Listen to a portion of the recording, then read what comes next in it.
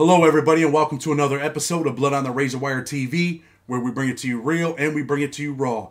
Hit that subscribe button, hit the like button, and definitely share the video. Got a special guest today, but I'm going to let him introduce himself and tell you who he is, where he's from, and a little bit about his situation. Tell the people who you are, man. Hey everybody, my name is John Perrette. I'm currently incarcerated in a federal halfway house in Hattiesburg, Mississippi. I was just released from federal prison after serving nine years, four months, and five days on engaging in the business of selling firearms without a license, conspiracy to commit federal firearms violations, and possession of a destructive device. I started my incarceration off at Oakdale Low. Uh, had some trouble there. Went to Forrest City Medium. Did did some time there. Uh, worked the program. I went to I went to uh, the Low. I stayed out of trouble. Uh, took some VT classes. Uh, and just did the right thing. Went all the way down, all the way to the camp, and uh, and, and and now here I am. But we're going to talk about a couple things, right? So, Okay. you got a firearms case. How old were you? Um, I was 24 when I was indicted. I was 22 when the it was a two-year investigation, so I was 22 at the moment of the offense. Let me ask you this: How much money did you make? Uh, twelve hundred dollars maybe. So for twelve hundred dollars, you ended up with what? Doing nine years? Yeah, yeah, exactly. A little bit over. That's like a penny on the day, if that. Yeah, it's, it's yeah. I ridiculous. actually, I actually have 14 co-defendants, and uh, you know, the, the the the things that we were doing. I mean, none of the guns that I sold were actually illegal. I mean, they, I had bought most of them from the pawn shop myself. They were in my name. Uh-huh. Um, so it was shocking to me when the feds kicked in the door. I mean, don't get me wrong, I was no angel. You know, I had other things going on, but when the feds kicked in the door, and you know, I, I'd been waiting for that call for a while. And then when they when they got me in the in the truck and they gave me the indictment, I'm looking at the indictment I'm, and it says guns. I'm thinking guns. What are you? What, what are y'all talking about? Guns? And yeah, they had me on a 30 count indictment on, under firearms, and uh, it was really shocking, man. Because like I said, uh, there there wasn't necessarily an intent to commit a crime uh, in, in in the selling of the firearms. So you go to prison. You end up going. Where'd you go? Oakdale. Yeah, Oakdale Low was my first spot. What were you thinking when you were on your way to prison? Were you a little bit nervous? Were you a little bit worried? Had you ever been to prison before? Oh no, I was a it was a, my first time, man. I was a first time offender, and um, you know, I didn't understand low, medium, pin, camp, like that. That, that stuff didn't mean anything to me, right? So when the when, you know when the bus pulls in, all I see is razor wire and dudes all tatted up on the rec yard working out, and I'm thinking we're gonna bang, we're gonna bang this whole nine years, and I I didn't know that's why I got in a fight so fast because the moment that somebody said something that I didn't like, I said, hey, let, let's let, let's handle this, let's fight because I didn't understand the system. You know, I mean, years later, I end up going back to a low and and learn to let a lot of shit slide. But but in those initial in that initial few days there, man, yeah, man, I was I was terrified. I didn't I didn't understand that being good and you know having my, having my paperwork and being able to walk a yard meant anything. You know what I mean? I didn't. I thought I'd be fighting until the day I got out. Honestly. What was your upbringing like? What? How did you get involved in in a firearms investigation? Like, where, where did that come Uh, from? Well, it's, it's interesting. I'm from Southern Mississippi. I'm from the country. Um, firearms is a way of life where I'm from. I learned how to shoot a gun right after learning how to walk. Um, you know, when I when I was growing up, uh, uh, some of the milestones in life was was firearms. You know, you got your BB gun, and then when you're old enough, maybe dad to get you a 22, and then when dad sees you're responsible at 22, move up to a, a 410, and so on, and so on and so forth. And you know, in, in, in our in our in, in my culture, you know, I wanted to I wanted to inherit my grandfather's firearms. You know, the Browning automatic, the Lee Enfield 303, the ones that were in the in the big nice polished display cases. So um, I started I started buying and selling firearms as a hobby. Um, I, I really really like firearms. I think it's a it's a good way to release stress. I go out and shoot firearms. I train my girl how to use firearms. That way, when I'm when I'm away from the home, she understands how to use them safely. Um, so I, it, it was a way of life for me. So I buy I buy them and I shoot them, and then when I when I'm done with them and I want to replace them and I want to buy more, I, I sell those guns and then I go buy some more. So um, I actually was having a housewarming party for I was I had I got an apartment in Biloxi and um, this a girlfriend of mine came over who's actually still incarcerated. Cherish Denise Sherrill. She's in um, she's in Tallahassee Low right now. That's your um, co-defendant? Yeah, yeah, it's my co-defendant. Oh, I know exactly who she is. Yeah, um, she's actually incarcerated now. She came to my housewarming party and she was like, "Hey, uh, we were having some wine, having some steaks, and she was like, "Hey, uh, do you have any guns you want to sell? And I was like, you know, not really. Uh, you know, I, everything I have right now is for personal, right? Well, as the night went on and we, you know, we had a few more, a little bit more wine in us. She asked me again, and I said, well, look, I mean, you know, what is it? You got to, you got a guy that's gonna, you know, buy them because a lot of times people want when they want to buy firearms, they, they, they don't want to really spend the money for them. I firearms did her, aren't cheap. Hey, I did her clemency petition, man. Okay, okay, yeah, yeah. She's a she's a really good person, man. She's my sister. I love her to death. We have an extremely uh, tight relationship, and despite all the hardship that we went through, we're still tight. We still talk all the time. Uh, we have a really good relationship, um, and, and and the feds weren't able to to drive a wedge between us. We had been friends for years and years and years before this, and we'll always be friends. Uh, so they weren't able to drive a wedge between us but she was actually messing she was actually selling firearms to an undercover atf agent named jason and uh, you know she assured me he was cool everything was good so i was like you know what i gave her a, a, a I gave her a firearm and said, "Hey, you know, I'm only going to talk about this because it's over with, right? Yeah. Um, I w- I wouldn't normally be willing to, to discuss these things, especially being recorded, but our, our case is final, right? But I gave her a firearm and then she went and sold it. When she bought me the money back, it was a pretty decent amount of money. And I said, oh, okay, well, this guy must, you know, he must understand and appreciate firearms in a way that's going to, you know, where, where he's going to be willing to pay for them. So um, she, I, she gave me his number or she gave me his number or uh, he gave, she gave him my number. I really can't remember how it worked out, but I ended up getting in contact with this ATF agent, this undercover agent. He came to my house and he bought uh, two or three firearms, rifles that I had. And then um, you know, he came one or two more times over a two year period. And then on May 30th, 2012, at five o'clock in the morning, uh, my door was blown off the hinges by some some kind of little dynamite or something. They shot me with a uh, with a with a with a with a uh, flashbang and zip tied me and took me out. You know. They shot you with a flat. They shot you with a flashbang. Hit you with it. Yeah, I was actually running toward the back door, right? And whenever they whenever they entered the house, you know, look, I, I actually was awake, right? I heard a door close. And it's not, you know, I have friends that sometimes they drink too much and they and they can't make it all the way home, so they'll stop by my house and crash. So it's not out of the ordinary for somebody to stop by at 5 a.m. But I wasn't expecting anybody, so I, I, I was actually got, I had some real bad indigestion, so I actually was getting up to drink some drink some cold milk, yeah. and uh, I, I I heard the door shut, and when I when I looked out the thing, there was a white panel van pulled all the way up to the front of the the, the door, and I see these guys, they're in skeleton ski masks they're not like badges out, you know. They're in like coming in to to, to rob and kill and, and, and look for money type shit. You know what I mean? So I didn't even know that they were the police. So I took off running for the back for the backyard, and uh, they they blew the door open with something. I don't know what they used, but it was like an explosive. It wasn't like a bop bop bop bop battering ram. It was like a, a some type of I don't know what they used. But when they came in, they, I guess they saw me heading for the back. They shot the flashbang, and when when the flashbang went off, of course, I lost the trajectory where I was going. I was heading towards the back door, but I got, I got so disorientated, I actually ended up running into the wall. Before I knew it, I was flex cuffed and on my way to the federal courthouse that, in southern Mississippi. That was the ATF. That was the U.S. Marshal Services uh, and the ATF um, with some Harrison County uh, uh, backup out there. You know, they, they, they, they, had they had all the boys out there. They had the whole squad. You know. I'm going to ask you a couple other things. So you end up leaving Oakdale. What happened? You got in a fight in Oakdale, right? Yeah, I got in a fight with a, with a, a buddy of mine's dad, right? Um, the, uh, the dude's kind of senile. He's kind of weird. He, he says a lot of weird shit, and he says something about my brother that wasn't true. That my brother put the ATF on him. The truth is, is that no one knew that that dude was an ATF agent, right? Yeah. If if if Cherish knew that that dude was an ATF agent, she wouldn't be sitting in prison still while I'm free, right? Yeah. Okay if I know if I knew that he was an ATF agent, David Marshall Waters, the dude I got in a fight with, wouldn't be at home for the last like five years while I'm still sitting in here. I would have gotten a 5K one. You know, I would have I would have gotten substantial assistance. I wouldn't have I wouldn't be like literally the last one. I think there's two of us remaining in. I I'm I was like the third to last that's that's actually out. So um the, the dude said this about my brother and uh, it got back to me and people started asking me like, hey man, is your brother a rat? And I'm like, my brother a rat? Fuck no, my brother ain't no fucking rat. Can I cuss on here? Yeah, you're all right. It's a prison show, man. Okay, I don't want to. I don't. I, mean, wanna, I don't know. Hey, listen. You I don't know, know we, we, get we get a lot of kids that watch it, but.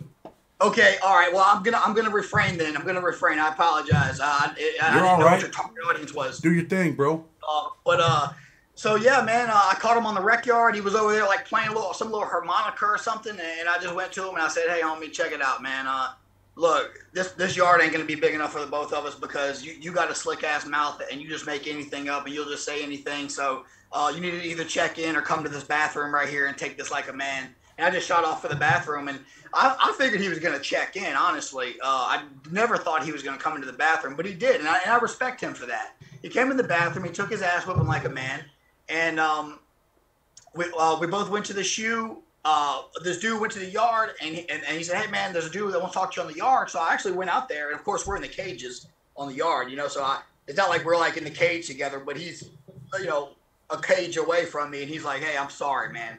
You know, I screwed up. I shouldn't have said anything about your brother. I knew it wasn't true, man. You know, what do you want to do? Do you want to do you want to admit to it, or uh, you know?" How do you want to do it? I said, yeah, man. Look, let, let, let's admit we had a disagreement, and let's say that, hey, we're cool come move in the cell with me for a little while and then and, and they'll let us out and that never happened uh, you know we, we, we copped to it we said we'd move in sis said hey we really don't do that anymore that was something that we used to do. We used to put people in the cell together and if they made it we let them back out. We don't do that anymore. Or they don't do that they didn't do that at that institution. Yeah.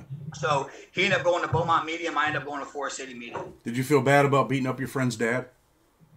Um I'm, I'm no, messing not, with you, man, for real. No, no, no, no, no. I really didn't because I really had wanted to do it in the county jail, but I was on pretrial and I didn't yeah. want to go into my sentencing, my three five five three A. You know, I didn't want that to be a a, a a, sentencing factor that I had beat this dude up. I mean, the dude had a slick ass mouth on him from the beginning, and and really just was real reckless, man. Like we're in we're in the thing and he's showing pe- people that's coming in he's showing them our indictment and everything and talking to people and the cops are coming to me and saying hey this russian guy we just bought in he comes from new york. He's a known rat.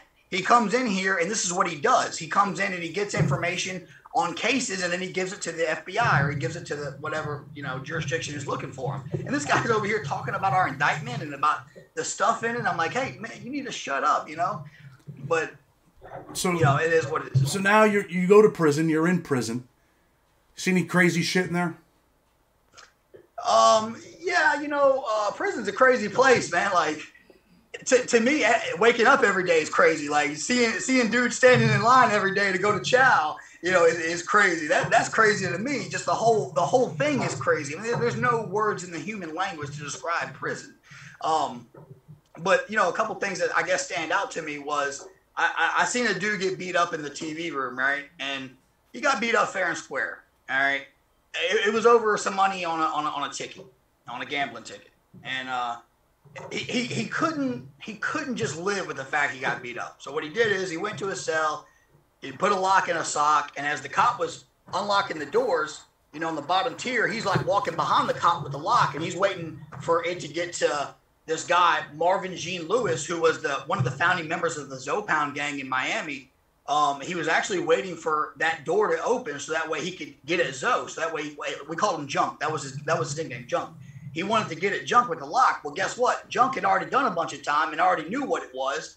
So he was already booted up with his shorts on, with his shirt off. So the moment the door popped, he came out, ducked the lock, hit the dude, got him down, took the lock from him, and threw the lock and just started just started you know wailing on him, beating him up pretty good. So he got the better he got the better half of it. You know what I mean? Yeah. I mean, you were in a low and an FCI. You ever seen anybody get killed over there?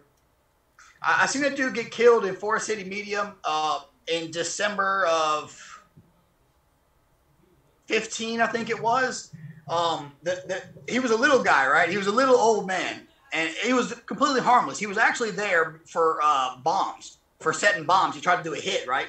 So he set this bomb under the car, but he doesn't know that the FBI is watching him. You know, he's being tailed by the FBI, then he goes and slides a bomb under this car. So he got like 40 years, right? He's never going to get out. But little old man stayed to himself. His celly didn't like him. All right. Uh, his celly's name was Seamus, uh, something Seamus, right? He was a redheaded guy. I think he was from Arkansas. He actually came from a pretty affluent family. Yeah. He, he didn't like him. He didn't like the guy. Was he an and Irish dude, Seamus? Yeah, he was Irish guy. He like red red beard. Yeah, yeah. So um, I can't remember his first name, but his last name was Seamus. And uh, so he just didn't like his celly. He didn't like the old man. And this dude owed him hundred dollars on his store. He ran like a little store. Yeah. And uh, he told the guy, "Hey man, you want to get rid of that hundred dollar store debt?" And dude was like, "Yeah." And he was like, "Well, get rid of my celly." So he, the, the, the dude found the guy at pill line at night, stomped him to death, killed him on the pill line, and uh, they all got murder, murder for hire, murder, you know, murder, conspiracy to commit murder. Hey, I know who Seamus is, man. I was in Ray Brook with him. I hey, he was an all right dude. He used to draw cards. He was an Irish dude. Yeah. He used to shovel snow. Always Yeah, working. yeah, yeah. Wow. That's him. That's him. I'm yeah. shocked, bro, that, that that that happened with that dude. I'm gonna have to look that up. I'm shocked. Yep, yep, yep. How much time So- did they end up with? Did they end up getting? You said they got charged with murder.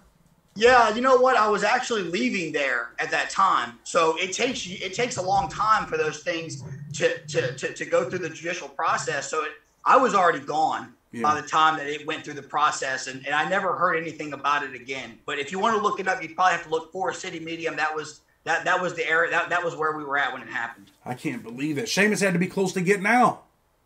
He was he was like a couple years. Yeah, he was. I know Yeah, exactly that- who he is, man. Yeah, they said he was like from an affluent family that, that had like uh, some kind of business, some big business, maybe trucking or oil or something like I that. I know exactly. I know exactly who Seamus is, man. It's crazy. So, damn, man. It's hey, you know, people that are watching this, they need to know that, man. Some dudes go to prison and they got a little bit of time. You know, even eight, nine years in some perspectives, it is a little bit of time. To some people, like me, I had 40 years, but some of these dudes end up, man, with a life sentence. Yeah, I can actually give you another example. This guy, JJ Hinkle in Texarkana, Texas, right? This kid was like four months to the door, and I was leaving to go to Estelle Camp, and he was a good kid, worked in HVAC. He was young, real young guy. He'd only got like a 30 month sentence. You know, he was on like his cousin's conspiracy. So, uh, you know, I, I pulled him up and I said, Hey, you know, I just want to let you know, man, it's a pleasure meeting you. You're a bright young man. You got a future ahead of you. Don't come back to this place. You're very talented with HVAC. You know, you're going to do good things. I leave, and then I find out that he's in the shoe for murder. He's in the shoe for murder. You know why? Because he was an HVAC guy, right? So he goes and fixes the ice machine, and he puts a sign on it that says, "Don't get any ice." Well, this this this, this Mo comes over there and says, grabs the ice and starts putting the ice in the thing, and JJ says, "Hey man, what are you doing? You know, uh, you can't you read the sign?" And the guy was like, "You know, ah, screw you." And so J, JJ hit him one time, and he went down and it killed him instantly. One hit, one hit killed him instantly.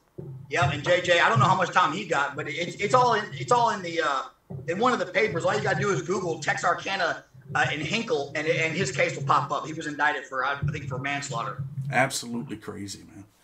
Yeah. And you spent a lot of your time in the law library, right? Yeah, you know what's crazy is uh, you might actually know one of the guys that that mentored me, uh, Gregory Rook, uh, aka Trish. I don't know. Um, well, he was in Pollock for years. He's actually a legend in Pollock. Uh, he's a legend, and in a lot of the in a lot of the in a lot of the USPs because he's got so much time off.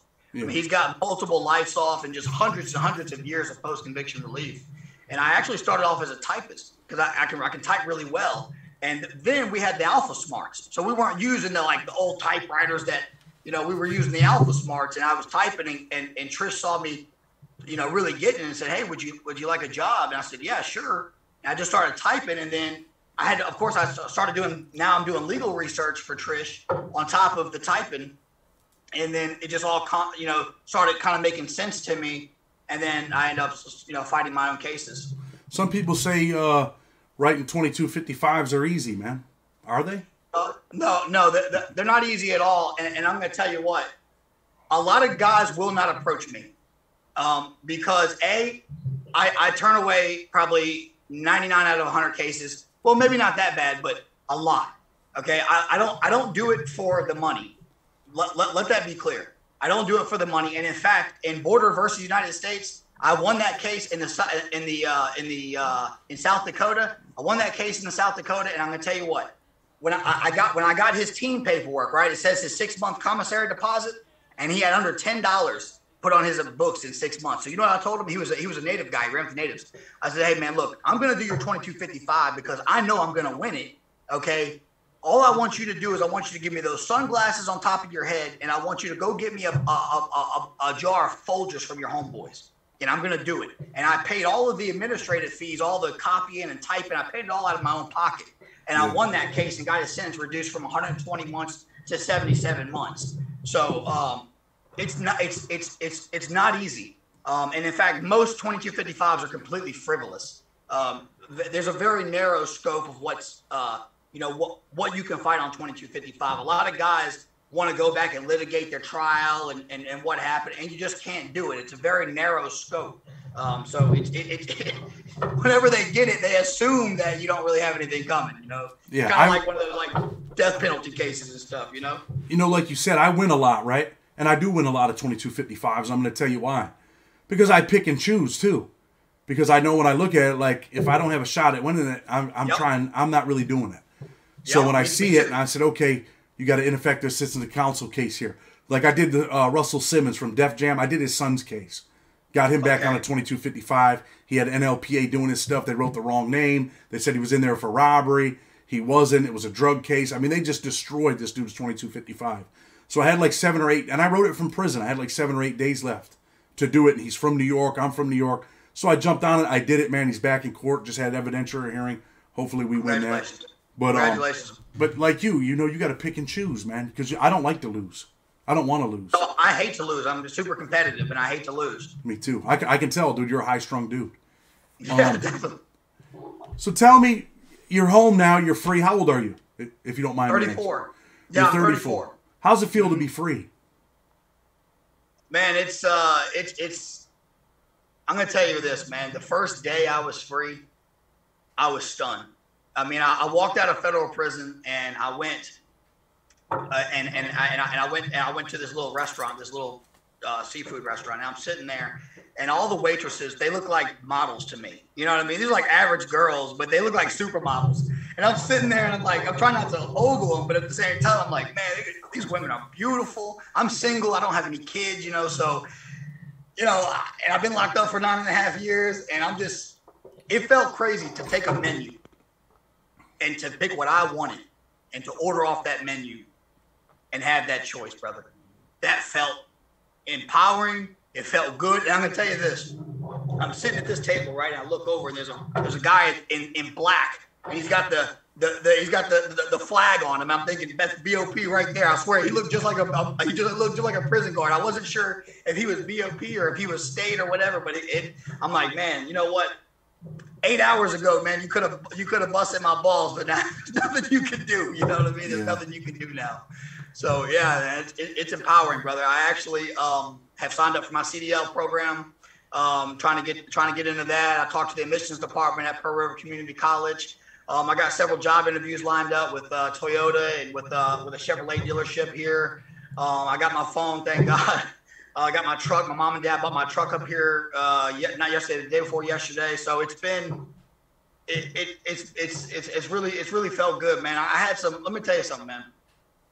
I didn't have a lot of people in my circle.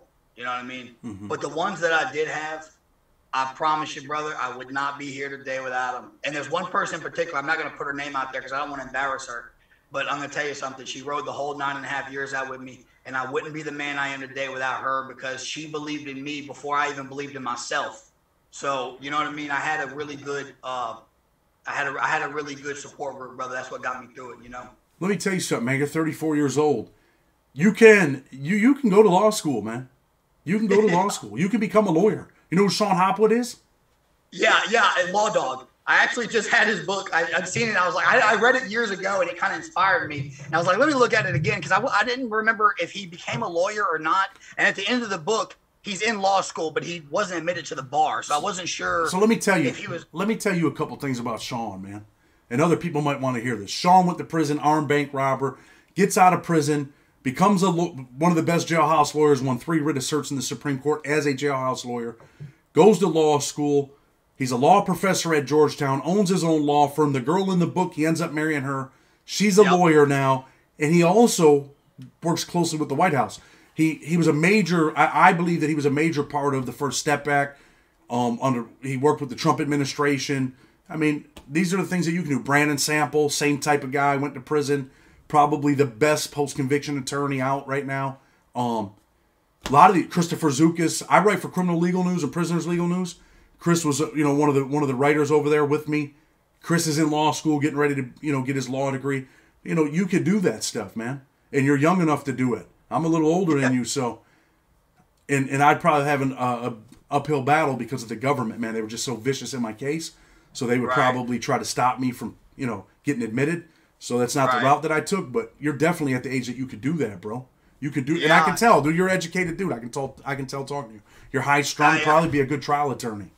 Yeah, I appreciate it. You know, I spent the entire time, and all I read was nonfiction. All I read was business, law, politics, history, um, finance, real estate. I didn't read anything that wasn't educational. You know, autobiographies like uh, Clarence Thomas's. Man, that was a that was a great read. That was an awesome read to hear the. The, the struggles that he went through with alcoholism and then uh, the Anita Hill stuff and I mean it was he, he had a crazy and then the the, the high tech lynching and all this. I mean, he was he was an incredible guy, man. I really look up to to to, to Justice Thomas. So let me He's ask you this: person.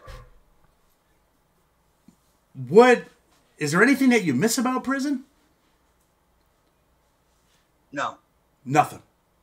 nothing. I'm glad you said that. I'm glad that you said that. Being free, you know, the message here is to save kids from life imprisonment premature death in the streets. And what I mean by that, them not making the decisions that we made, right? Um, not getting killed out here on the street because they're selling hundred dollars worth of crack in front of the corner store. Yeah. That's what I mean by Yeah. premature death in the streets. Um, what message would you give to kids? I mean, you made twelve hundred dollars for selling guns and ended up with losing nine years of your life. So, what message would you have for kids today, or for your younger self? You know, you know, it's a tough question, right? Because a lot of the kids are gonna look at me, you know, and and they're and they're not gonna be able to connect with me, right? Because I'm older now. Okay, um, I, I've I've often thought of mentoring youth, right? And, and and and I tell you how I thought about doing it. I thought about going in with the with the with the with the with the shirt all buttoned up and and the tie on and sitting there and talking. And then when I realize I'm losing them, just take the shirt off and show them all my tats and show them the scars from the fights. Okay, and so, and then maybe that would connect with them a little bit more when they saw I'm all tatted up. I got the jailhouse tats. Um, but I'm gonna tell you what, there's no amount of money, whether it had been 1,200 or 12 million, there's no amount of money that would have been worth what I just went through. Okay, none. I've had guys ask me like, "Come on, man, hypothetically, like, you know, if would you do another 10 years for for 20 million dollars?" No.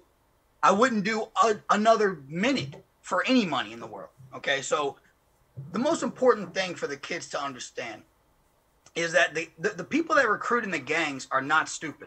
Okay? They actually out the, the, the, gang outreach is targeted towards kids who will be easily influenced, right? People that don't have th- their mothers or their fathers or, or, or, or whoever, they don't really have a good family structure, okay? The brotherhood that you join is is all smoke and mirrors okay? And i mean that with all the respect okay? I'm sure there's a lot of former and current gang members watching um watching this and i mean that with all due respect. I'm not trying to hate on your sets or anything. I'm just i'm just letting you know that a lot of your homeboys won't really be homeboys when the time comes okay? If you look at the numbers of how many federal uh inmates i mean i'm sorry federal defendants cooperate with the government the, the number's staggering. It's like two-thirds okay so everybody's not going to just hold their water on you, man. And, and another thing, when you go down and all the good time is over with, when you stop picking up the tabs at the bars, when you stop paying for the drugs and all that, all the girls and all the homeboys, they're gone. They're gone. And you might have four or five people that ride your bid out with you. That's if you're lucky. Because I know a lot of people that don't got nobody riding their bid out with them. So, you know,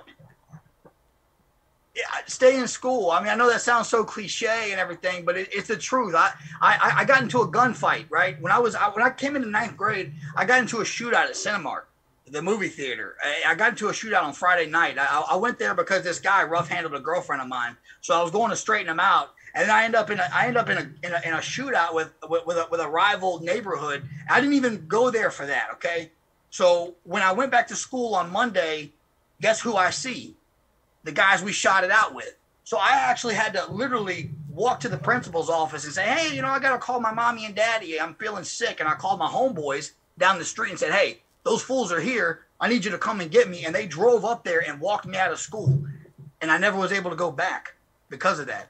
Okay, so you know, it's it, it's not the life, man. Uh, all the you know, a lot of the kids are influenced by the music and and, and the culture the culture is is is to be tough and be hard and be a hustler and, and this and that. But the movies and the rap music and the lyrics, they don't really show you the other side of that, where you're sitting in a cell day after day after day after day rotting away. You know, they, they don't talk about that part because that's not glorious. You can't watch none of the gang You can't watch none of the gangbang movies or none, none of the gangster flicks. They don't never show those guys sitting in prison for the rest of their lives. Hey, let me ask you this: how many, how many, how many OGs have you seen? I'm talking about guys that are bosses in the world that control whole neighborhoods, that control a bunch of soldiers, had millions of dollars. How many times have you seen them get get, get their balls busted by the hacks? How many times you seen them, the, the police come in their room and tell them, hey, get up, get up, do this.